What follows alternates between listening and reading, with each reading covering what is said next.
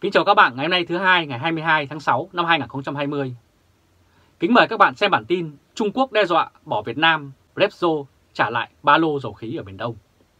Tập đoàn dầu khí Repsol của Tây Ban Nha đã ký thỏa thuận với Petro Việt Nam để chuyển nhượng cổ phần tại ba lô thăm dò dầu khí thuộc vùng đặc quyền kinh tế của Việt Nam vốn không hoạt động được từ 3 năm nay do sức ép từ Trung Quốc, trong đó có dự án cá rồng đỏ. Cụ thể, Repsol sẽ chuyển nhượng cho Petro Việt Nam 51,75% cổ phần của lô 0703 PSC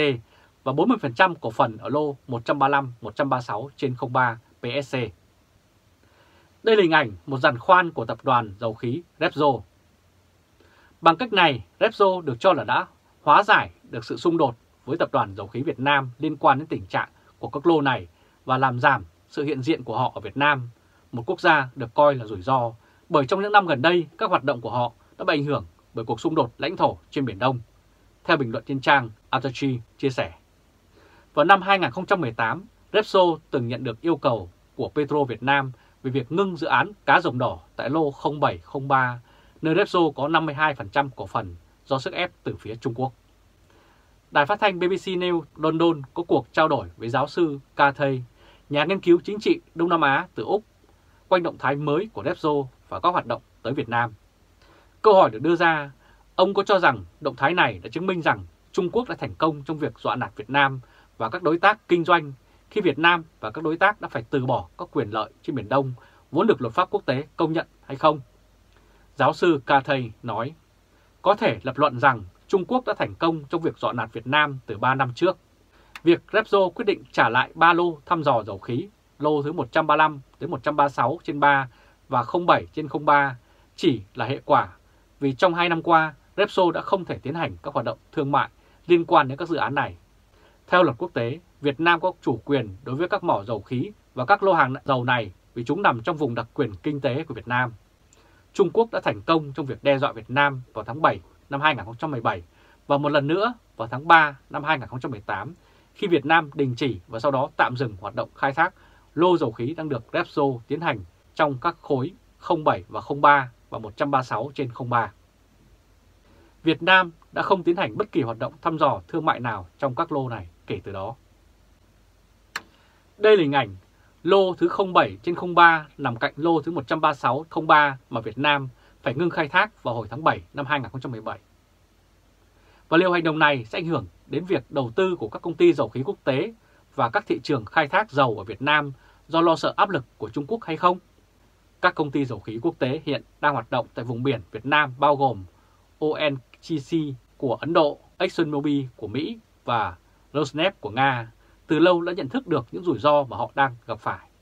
Trong quá khứ, chính phủ Ấn Độ đã thúc giục ONGC tiếp tục hoạt động khai thác dầu khí tại đây. Vào năm 2018 đã có tin đồn rằng ExxonMobil sẽ rời khỏi Việt Nam vì lý do tài chính. Tuy nhiên, đầu tháng này, một quan chức cấp cao của ExxonMobil đã điện đàm với Thủ tướng Nguyễn Xuân Phúc để bày tỏ mối quan tâm của công ty mình trong việc phát triển các nhà máy điện khí hóa lỏng trên đất liền. Và bất kỳ áp lực nào của Trung Quốc đối với ExxonMobil tại thời điểm này có thể sẽ khiến Hoa Kỳ nhảy vào can thiệp. Và Rosneft đã giữ vững quan điểm của mình vào năm ngoái, có báo cáo rằng các hoạt động thăm dò dầu khí có thể được tiếp tục trong các lô đã được cấp phép cho Rosneft. Giàn khoan dầu Glider gần đây đã được kéo đến Vũng Tàu, giáo sư Ca Thầy cho biết. Câu hỏi tiếp tục được đặt ra là Việt Nam được cho là sẽ phải chịu thiệt hại tài chính lớn do động thái mới đây của Repsol. Thiệt hại này sẽ ảnh hưởng đến tình trạng dầu khí của Việt Nam như thế nào? Giáo sư Cà Thầy chia sẻ, các lô dầu khí mà Repsol vận hành được ước tính chứa 172 tỷ phép khối khí tự nhiên có thể phục hồi, 45 triệu thùng dầu thô và 2,3 triệu thùng nước ngưng tức là dầu thô nhẹ. Nếu các lô này có thể bơm dầu và khí đốt lên bờ để sản xuất điện chúng sẽ có phần quan trọng trong việc đáp ứng nhu cầu năng lượng của Việt Nam.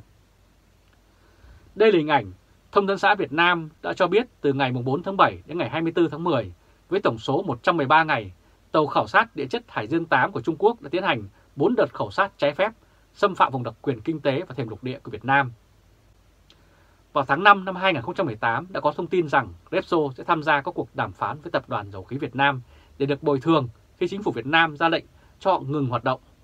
Ước tính vào thời điểm đó, nếu Repsol bị đình chỉ hoạt động hoàn toàn, các nhà đầu tư sẽ mất trắng gần 200 triệu đô la đã bỏ ra. và bất kỳ việc đình chỉ khai thác dầu khí nào cũng sẽ ảnh hưởng đến khả năng đáp ứng nhu cầu năng lượng ngày càng tăng của Việt Nam và đè nặng đến các tác động do đại dịch viêm phổi Vũ Hán gây ra đối với tăng trưởng kinh tế nói riêng tại Việt Nam và trên toàn cầu nói chung. Câu hỏi tiếp tục được đặt ra là liệu động thái này có nói ra lên rằng chính phủ Việt Nam sẽ không bao giờ dám kiện Trung Quốc ra toán quốc tế liên quan đến các tranh chấp trên Biển Đông hay không? Có ý kiến cho rằng Việt Nam bị ràng buộc bởi luật pháp quốc tế liên quan đến các thách thức và cách chọn hành động pháp lý mà Việt Nam có thể khởi xướng. Ví dụ, Công ước với Liên Hợp Quốc về luật biển UNCLOS chỉ bao gồm các tranh chấp liên quan đến việc giải thích hoặc ứng dụng công ước. Và UNCLOS không thể để giải quyết các tranh chấp về chủ quyền, phân định danh giới trên biển và các hoạt động quân sự. Tòa trọng tài quốc tế cần có sự đồng ý của cả hai bên và như chúng ta đã chứng kiến từ vụ Philippines kiện Trung Quốc, UNCLOS không có bất kỳ biện pháp thực thi nào. Điều này không có nghĩa là Việt Nam sẽ không bao giờ kiện, nhưng họ sẽ phải lựa chọn các vấn đề của mình một cách cẩn trọng. Cách tiếp cận của Philippines là yêu cầu tòa trọng tài được thành lập theo phụ lục số 7 của UNCLOS để xác định các quyền lợi của họ theo luật biển. Và quyết định chuyển nhượng hợp đồng sản xuất chung của mình trong lô 07 trên 03 và 135 tới 136 03 của Tập đoàn Dầu khí được thực hiện trên cơ sở thương mại. Đây là hình ảnh đường chín đoạn mà Trung Quốc vẽ ra chiếm trọn Biển Đông, vì thế hầu hết các mỏ dầu khí mà Việt Nam đang khai thác đều bị Trung Quốc xem là vi phạm chủ quyền của họ. Tập đoàn Dầu khí Việt Nam có lẽ không có đủ nguồn lực để tự phát triển các khối này. Tập đoàn này sẽ phải tìm kiếm các đối tác nước ngoài. Điều này sẽ khó khăn vào thời điểm sự hiếu chiến của Trung Quốc đang gia tăng và căng thẳng giữa Bắc Kinh và Washington leo thang. Vào hồi tháng 9 năm ngoái cũng có tin đồn rằng tập đoàn ExxonMobil dự định sẽ rút khỏi mỏ cá voi xanh vì sức ép của Trung Quốc. Vào hôm 10 tháng 9 năm 2019, tàu Hải Dương địa chất 8 của Trung Quốc vẫn hoạt động tại bãi tư chính của Việt Nam sau khi quay về từ đá chữ thập cách đó 2 ngày. Trong khi đó, rộ lên thông tin tập đoàn ExxonMobil của Mỹ rút lui khỏi mỏ khí đốt cá voi xanh nằm gần Quảng Nam, cách bờ biển Việt Nam khoảng 55 hải lý. Và nhà báo Huy Đức hôm 9 tháng 9 năm 2019 cũng đã viết trên trang Facebook của mình rằng ExxonMobil bỏ cuộc trước sức ép của tập. Một nguồn tin khác nói rằng ExxonMobil ngày hôm 28 tháng 8 đã thông báo cho phía Việt Nam ý định bán lại toàn bộ cổ phần ở mỏ cá voi xanh. Được biết, dự án này có tổng vốn đầu tư 4,6 tỷ đô la, kéo dài khoảng 25 năm, trong đó ExxonMobil sở hữu 64% cổ phần, dự kiến đến cuối năm 2023 sẽ đưa dòng khí đầu tiên vào bờ. Và mỏ khí cá voi xanh có chứa lượng thu hồi tại chỗ khoảng 150 tỷ mét khối, gấp 3 lần mỏ Lan Tây và Lan Đỏ thuộc dự án Nam Côn Sơn lớn nhất Việt Nam hiện nay. Trước đây, trong một phiên đối thoại ở APEC ngày 10 tháng 11 năm 2017, ông Liam Malone, Chủ tịch tập đoàn ExxonMobil từng khẳng định sẽ khai thác mỏ khí đốt cá voi xanh vào năm 2019. Vậy tin trên thực hư ra sao? Chính quyền Việt Nam chưa hề lên tiếng, cũng như những thông tin về bãi tư chính cho đến nay hầu như chỉ được đưa ra từ các chuyên gia nước ngoài liên quan việc theo dõi Biển Đông. Trên Twitter, chuyên gia Greg Polin, giám đốc AMT thuộc viện CSIS của Mỹ nhận xét như sau. Nếu là sự thật, thì đó là một đòn rất nặng cho Việt Nam và cho tự do hàng hải trên Biển Đông. Đây cũng là thời điểm hoàn hảo cho các nhà quan sát về Trung Quốc thấy việc giết gà để dọa khỉ, trong đó Rosneft là gà, Exxon là khỉ. Nhà nghiên cứu P. Hayton cho rằng ExxonMobil từ lâu đã tranh cãi với Việt Nam về giá khí đốt, có thể là lý do thương mại thay vì địa chính trị, nhưng hãy chờ xem tin tức như thế nào.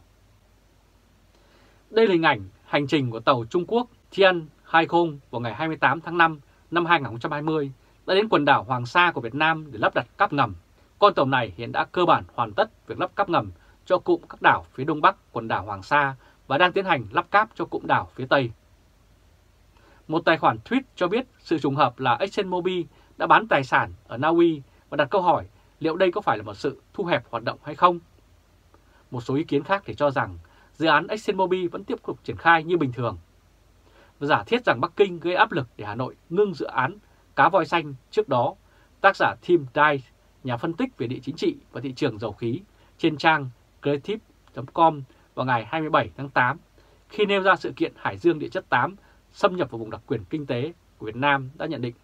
căng thẳng giữa Hà Nội và Bắc Kinh diễn ra một năm rưỡi sau vụ công ty Repsol của Tây Ban Nha phải ngưng dự án khí đốt trị giá 200 triệu đô la tại vùng biển Việt Nam sau khi đối tác Việt Nam bị Trung Quốc gây sức ép, dọa sẽ sử dụng vũ lực. Repsol cũng phải rút khỏi một dự án khoan dầu ngoài khơi bờ biển Việt Nam vào năm 2017,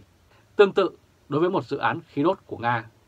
Vào ngày 5 tháng 9, tác giả Tim Dice đã tiếp tục đặt câu hỏi liệu Bắc Kinh sẽ đẩy ExxonMobil ra khỏi Biển Đông như thế nào? Bài viết dẫn nhận xét của giáo sư Kathai, trường đại học tại Úc cho biết Trung Quốc đã có thỏa thuận với Việt Nam để duy trì nguyên trạng tại khu vực bãi tư chính. Khi Việt Nam lại bắt đầu thăm dò tại đây, Trung Quốc đã gây áp lực hết sức lớn, thậm chí dọa dùng vũ lực khiến Hà Nội phải nhượng bộ. Tuy nhiên, theo giáo sư Kathai, lô của ExxonMobil dù nằm ở gần đường lưỡi bò tự vẽ của Trung Quốc nhưng không chạm đến đường danh này. Và nguồn tin Việt Nam cho ông biết đôi bên cũng đã thỏa thuận không chính thức là sẽ không can dự vào các động thái của phía bên kia. Như vậy rủi ro được giảm thiểu đối với ExxonMobil. Đây là hình ảnh tập đoàn dầu khí ExxonMobil của Mỹ là nhà khai thác khí đốt lớn nhất của Việt Nam sau khi ký kết một hợp đồng trị giá 10 tỷ đô la để khai thác dầu khí trên Biển Đông vào hồi năm 2017. Giáo sư Thayer nhận xét như sau. Gây áp lực lên công ty Repsol là chuyện nhỏ đối với Bắc Kinh, nhưng nếu đụng đến một công ty của Mỹ thì sẽ gặp rắc rối lớn. Có lẽ Trung Quốc gây áp lực lên Việt Nam để Hà Nội đòi ngưng dự án cá voi xanh, như thế sẽ tạo ra hố ngăn cách giữa Hà Nội và Washington. Bắc Kinh chơi trò trường kỳ trên Biển Đông trong khi Hoa Kỳ lo tập trung vào Bắc Triều Tiên và thâm hụt thương mại với Trung Quốc. Chuyên gia Tim Dai cũng cho biết ông đã trao đổi với hai nhà chuyên môn trong ngành năng lượng của Việt Nam Họ tin rằng Trung Quốc muốn gây phức tạp cho dự án ExxonMobil. Việt Nam sẽ tiếp tục là nạn nhân của Trung Quốc như thế nào? Tác giả Panos trên trang Forbes nhấn mạnh,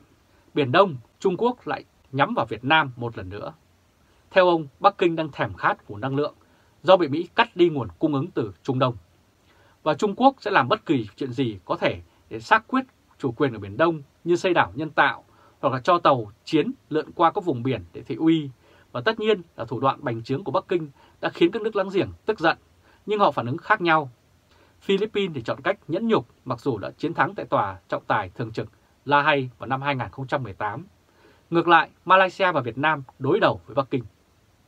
Và Hải quân Malaysia tiến hành tập trận phô trương các hỏa tiễn, nhưng Việt Nam còn đi xa hơn, tuyên bố mọi hoạt động bành trướng của Bắc Kinh là bất hợp pháp, cho cảnh sát biển ra đối phó. Khác với vụ Repzo, trong vụ Hải Dương địa chất 8 mới đây, các tàu Việt Nam luôn theo sát các hoạt động của chiếc tàu khảo sát này tại khu vực bãi tư chính. Theo ông Modo thì có vẻ sự kiên quyết bảo vệ chủ quyền của Việt Nam mang lại kết quả hơn là thái độ của Philippines.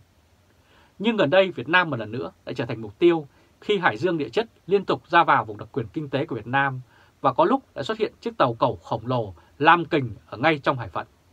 Tác giả đã kết luận trong khi vẫn còn chưa rõ lần này Việt Nam có thành công khi tiếp tục tỏ thái độ cương quyết trước Bắc Kinh hay không, nhưng có một điều rất rõ là quốc gia này sẽ còn phải tiếp tục là nạn nhân của Trung Quốc vì Bắc Kinh luôn cố gắng dẫn tới trên Biển Đông. Các bạn vừa theo dõi chương trình truyền hình trực tiếp của Lê Trung Khoa, Thời báo chấm ngày hôm nay thứ hai ngày 22 tháng 6 năm 2020 với bản tin Trung Quốc đe dọa bỏ Việt Nam, Zepro trả lại ba lô dầu khí Biển Đông. Các bạn hãy chia sẻ video này cho nhiều người biết và bấm nút theo dõi YouTube và Facebook của Thời báo.de để luôn được cập nhật những bản tin mới nhất, nhanh nhất và trung thực nhất. Từ Berlin, Cộng hòa Liên bang Đức, chào các bạn và hẹn gặp lại các bạn vào bản tin lần tới. Trung Khoa, Thời báo.de